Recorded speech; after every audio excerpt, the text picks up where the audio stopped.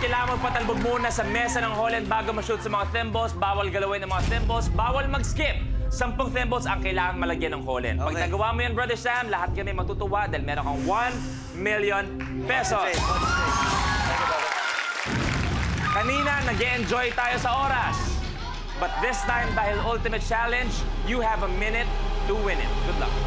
Kailangan magpatalbog muna sa mesa ng Holland bago ma-shoot sa mga thimbles. Bawal galawin ng mga thimbles. Bawal mag-skip. Sampung thimbles ang kailangan malagyan ng Holland. Pag nagawa mo yan, Brother Sam, meron kang 1 million pesos. The game begins in three, two, one.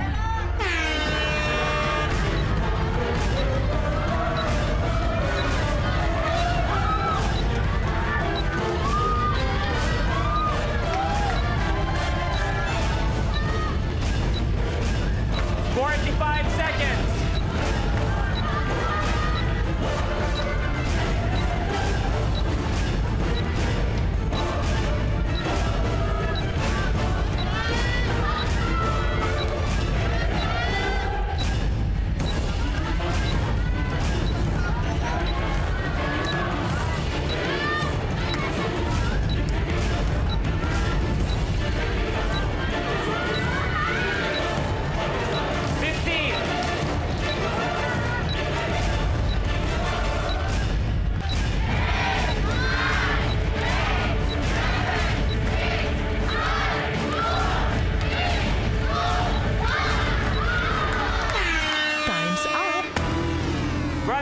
Hindi nagawa ang Nimble Thimble, pero still meron ka pa rin total 110,000 pesos para kay Sam.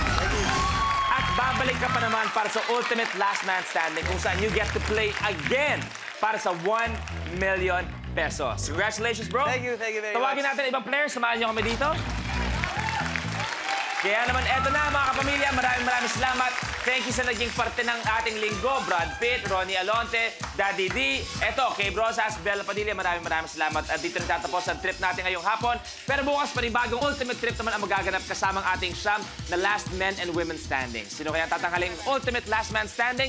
Kina Ala Kim, kay Nico, kay Ina Raimundo, Nonong, kay MC, kay uh, Gian, kay Dominic, kay Nicole, at sa multi-talented artist natin ang panibagong kasama, Sam Concepcion. Huwag palampasin yan dito na sa Minute to Win It, Last Man Standing.